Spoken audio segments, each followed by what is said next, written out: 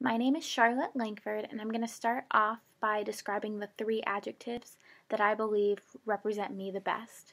The first one is adaptable. I believe that I'm a very adaptable person. Um, I've gone through many things that I've had to adapt very quickly. For example, I grew up in Michigan but went to college in Texas, and through that experience, I had to meet new new friends, um, faculty members. I had to learn how to deal with a different climate. I had to um, learn different cultural norms. And I really think I grew as a person through that, but also learned how important it is, even in speech language pathology, to be adaptable um, when you're giving therapy because you don't know what's going to happen and you need to be able to quickly um, change what you're doing or switch up something. Um, my second one would be adventurous.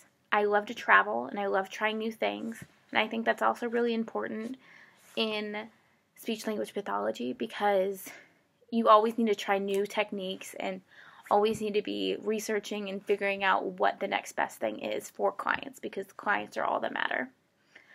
And my third adjective, ugh, adjective is um, compassion. I'm a very compassionate person.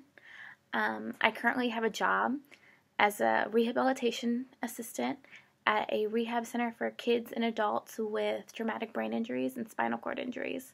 Through that process, um, I've learned to be even more compassionate.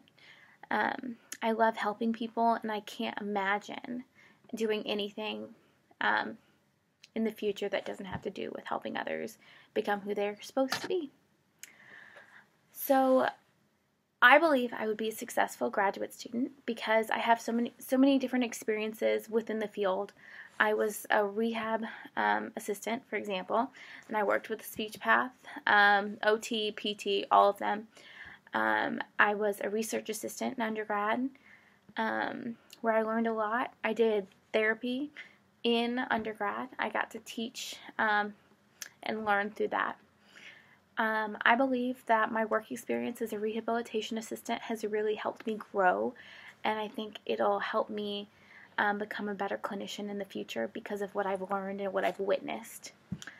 And I believe that I would um, love the program at Indiana State because um, I really, really want to take um, the school psychology and counseling um, classes that you offer.